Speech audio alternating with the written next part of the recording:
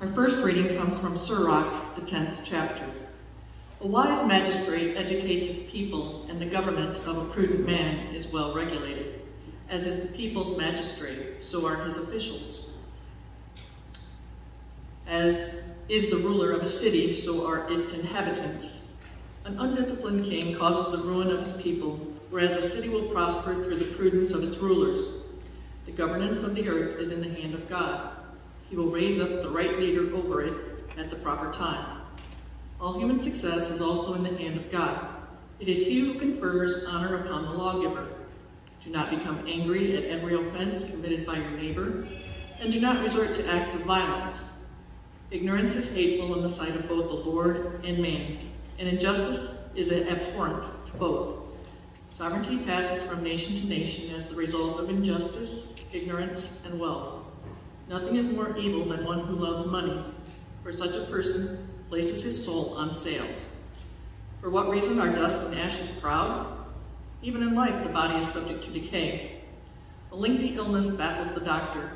The king of today will be a corpse tomorrow. O Lord, have mercy upon us.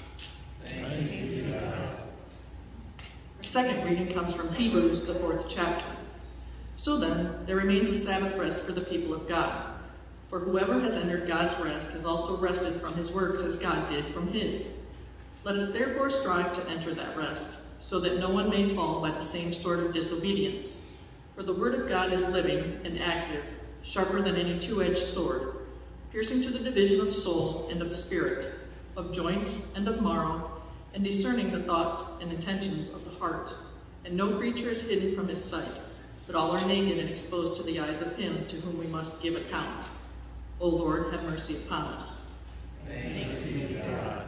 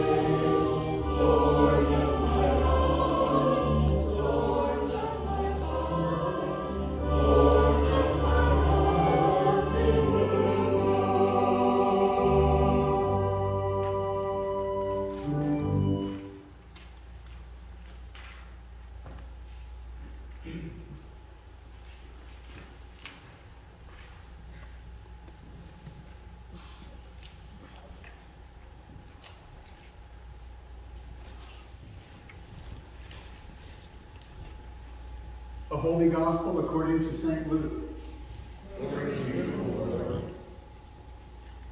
When a great crowd was gathering and people from town after town came to see him, he said in a parable, A sower went out to sow his seed, and as he sowed, some fell along the path and was trampled underfoot, and the birds of the air devoured it. And some fell on the rock, and as it grew up, it withered away because it had no moisture. And some fell among thorns, and the thorns grew up with it and choked it. And some fell into good soil and grew and yielded a hundredfold. As he said these things, he called out, He who has ears to hear, let him hear. And when his disciples asked him what this parable meant, he said, To you it has been given to know the secrets of the kingdom of God. For others they are in parables, so that seeing they may not see, and hearing they may not understand. Now the parable is this the seed is the word of God. The ones along the path are those who have heard. Then the devil comes and takes away the word from their ears, so that they may not believe and be saved. And the ones on the rock are those who, when they hear the word, receive it with joy. But these have no root. They believe for a while, and in time of testing fall away. And as for what fell among the thorns, they are those who hear, but as they go out on their way, they are choked by the cares and riches and pleasures of life, and their fruit does not mature. As for that in the good soil, they are those who, hearing the word, hold it fast in an honest and good heart, and bear fruit with patience. This is the gospel of the Lord. Praise to you, O Christ. By the regenerating power of the Holy Spirit, we are bold to confess. I believe in God the Father Almighty, maker of heaven and earth, and Jesus Christ, his only Son, our Lord, who was conceived by the Holy Spirit, born of the Virgin Mary, suffered under Pontius Pilate, was crucified, died, and was buried. He descended into hell. The third day he rose again from the dead. He ascended into heaven and sits at the right hand of God the Father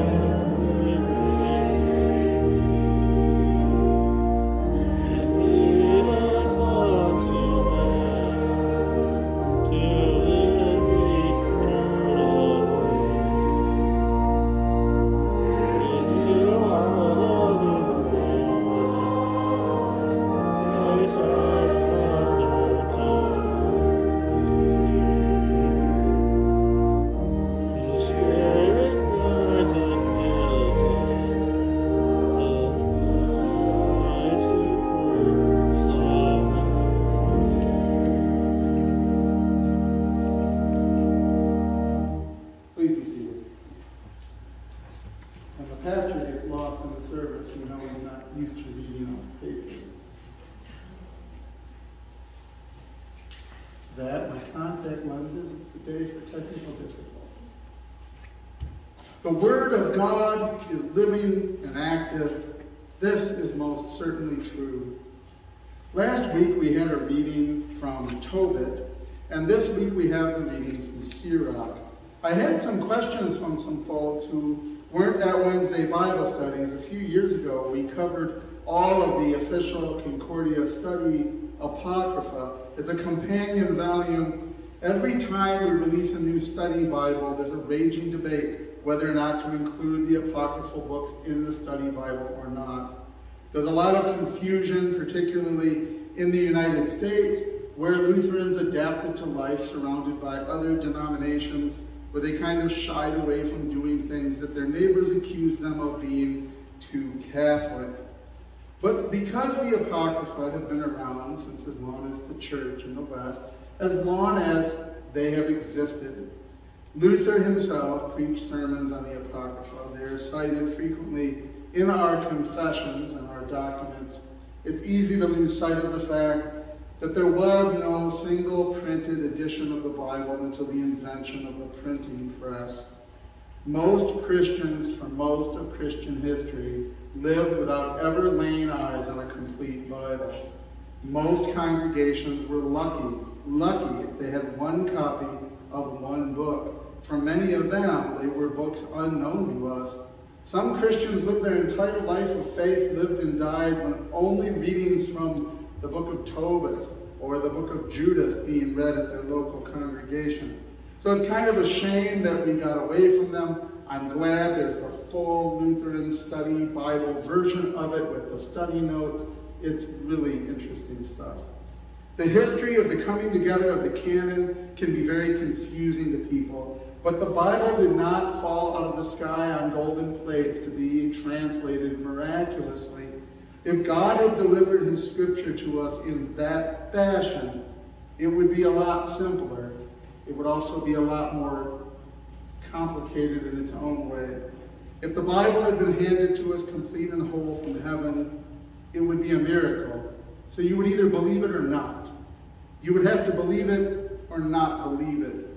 It's much more complicated that God delivers his word to many different people over thousands of years in multiple places and languages that leaves us to uncover archaeologically different, slightly different manuscripts here and there and piece it together. It seems so much less reliable, and yet it's far more reliable because we can dig it up and find old pieces of it, find pieces from here and there and everywhere, compare and contrast. It gives one a horrible headache at seminary when you have to remember the names of all the major manuscripts and look at the languages. And Hebrew is a horrific penance I don't wish on anybody, but that's how it goes. The Word of God delivered in such a fashion is verifiable. At least it's researchable. You can see it by its continuity. And over multiple authors, we see what we should see. Different vocabularies, different languages, different nuance, but always the fingerprints of the same God. God who struck Paul with blindness until the scales fell from his eyes. Many of us miss that that's a direct reference to what God did in the book of Tobit when Tobit was struck with blindness and when it was healed, scales fell from his eyes. By not knowing that book, we miss the reference. So the Word of God that's given to us is alive, it is living, it is active. It is not actually found in the printed word of the text. It's in what is conveyed. It is the Word of God spoken, the Word of God preached, the Word of God as it was originally written, handwritten by those to whom it was revealed and inspired. For us, it makes it a lot more complicated to find, but again, a lot more verifiable. The real question when dealing with the efficacy of the Word of God, finally he's getting to the gospel text. What kind of soil are we dealing with? This is what Sirach is speaking of in passing.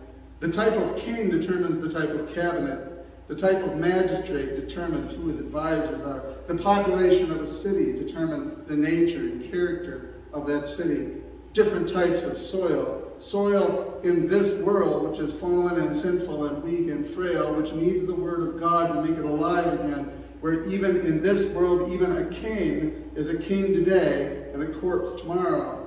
Keeping that in mind, then, what sort of soil are we dealing with? Now, there's a lot of different ways to interpret the parable in the Gospels. Most of them are, well, not very good. I could easily give you a long lecture that says, What kind of soil are you? Are you being rocked today? Are you worn down along the path? Well, you ought to be a better kind of soil so that you can grow fruit for the Holy Ghost. But if I did that, that would be putting the onus entirely on you. That would be saying that it's up to you to decide what kind of soil you're going to be. Make a decision for Jesus and walk a certain path, except we don't do that. We're the ones that were a king yesterday and a corpse today. Being sin, in sin, from the fall into sin, from the garden of on, means we are dead in sin. And the dead do not save themselves. The dead do not make a decision for Jesus. The dead do not pull themselves up by their bootstraps and do good work. And certainly soil has absolutely no say in what sort of soil it is. But the parable then serves two functions. First, for the church of Jesus Christ as it extends into the world, bearing witness of this word that is living and active, a sharp sword. This word, as we deliver it to the world, we have to be aware of what kind of soil we're dealing with. There's all sorts of soil out there in the world, varying degrees of receptive to non-receptive. Brothers and sisters, we are living in a time where agriculture, and a word of God, so to speak, is horrifically difficult.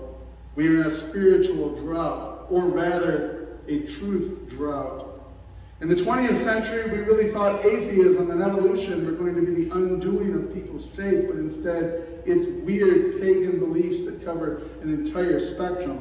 The old religion of multiple gods and every single person is their own god has been revived in new and terrible ways. What kind of soil is that? And how do we reach out to our neighbor? How do we reach out to people with the truth? Do we spend endless hours shoveling the seeds of God's word onto rock, onto a worn down path, onto the dry and dead husks of the walking dead zombies that populate our world? No matter what we pour on the corpse of today, it will not again become the king of yesterday Time takes its toll. History marches on. Culture is different. The characteristics of those in the city determine the nature of it, just like a king determines his cabinet and a magistrate his advisors. The world takes as its counsel the things that tickle its fancy, feed its flesh, and we have literally transitioned from a culture of overwhelming pleasure of drugs, sex, and whatever to those mutilating their own flesh to conform it to their own image. The world has gone mad, and the question must be asked, what kind of soil is the world? I tricked you though, didn't I? Did you catch that? What kind of soil is out there in the world, and how are you going to decide to plant your seed? That's actually the second terrible way to preach this parable. While we, as the Church of Jesus Christ, extending from eternity into time, have the obligation to do what we do in our entire life and existence, bear witness to the truthfulness of God's word that comes down from him, that which is living and active. Though we definitely are obligated by his calling, sanctification, and work through us to be a light to the darkness of the world it is not for you and I to obsess over legalisms or questions of who is worthy or when they are or when they might be. St. Paul, our parish namesake, was an enemy and persecutor of the church who took Christians away to be murdered. But when Jesus chose him on the road to Damascus, he becomes a martyr eventually for the faith. That St. Paul enters into heaven to the rejoicing and cheers of the people that he set there by murdering them is the scandal of the cross. And it reminds us that none of us knows when the Word of God, which is living and active, will do its work because it brings us back to the real meaning of the parable. See, nobody in their right mind, having grown up on a farm, Nobody in their right mind plants their seed in rock. Nobody tries to plant wheat in their driveway. It's a well-worn path. Nobody wastes seed or effort in this manner. The parable is not about you and me. The parable is not even about farming, though the imagery is. The parable is about the work of Jesus Christ. Jesus Christ, God in the flesh, come into the world to die for our sins and rise again, to cancel out the debt of every sin that has ever been from the beginning of time until the end of it, redeeming everyone who ever lived and ever will live, everything that is in his hand that he made in his cosmos. This God wanders the world throwing out the seed, and he is the one that loves the world enough that he pays no attention to where. He throws this seed on the rock, he throws it on the path, he throws it among thistles, because he loves all equally, he does not withhold where he throws the seed. And the best part is that only he who is fully God and fully man is capable of making a good crop grow on rock, in desert, among thistles, on the well-worn path.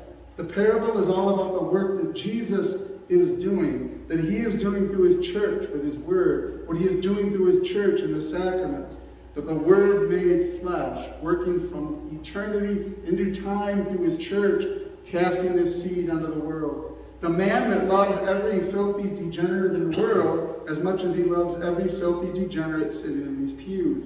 The one who has come into the flesh to cleanse us of our sin, to take it away by his blood on the cross the one who calls every, every murderer, thief, every pervert and degenerate that each and every one of us are someplace in the darkness of our hearts. Why, I lost my train of thought. Everything that we are in the darkness of our thoughts and our interior sin. Jesus Christ, God and man, who has entered the world to cleanse it, is the one who casts the seed all willy-nilly, everywhere, anywhere, all at once, because he loves all the types of soil equally, and he is able to make it take root. So yes, in our day-to-day lives, we might wonder about soil, and I'm certainly not advising you to plant your carrots in a terrible place in your garden. That would be extending the metaphor too far. But it's the reminder of Jesus that his work in the world, that is able to turn us, each type of wretched, dry, rocky, nasty, well-worn, evil soil that we are, that we can be brought here wash and absolve, that we can be fed his body and blood at this altar, to be a well springing up in us to eternal life. He is able to do it for every sinner that ever existed and ever will exist. He will, as he promised, restore everything that is his to himself, even the vastness of the cosmos, even every single bee and blade of grass, the one who lets nothing escape but fulfills all his promises it's Jesus who does the sowing, Jesus who does the work, Jesus who delivers the gift he promised of everlasting life. In his name, amen.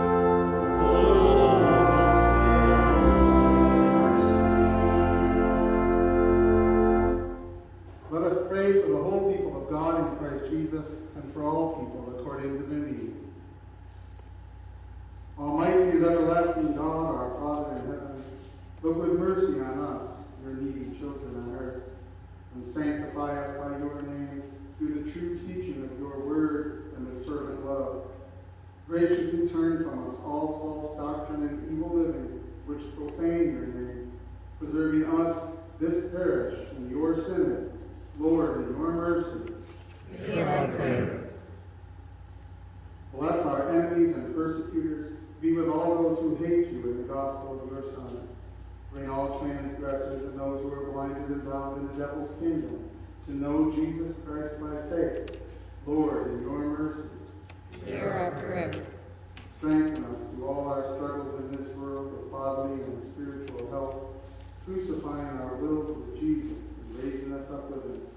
Into your merciful hands we commend especially Reverend James, Audrey, Mary, Colin,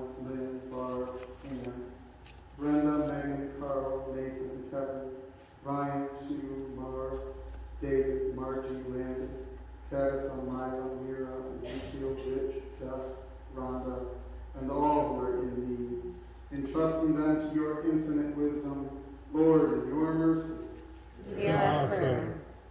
Grant us strength to persevere in honest and righteous living day to day. Preserve us from greed and selfish cares.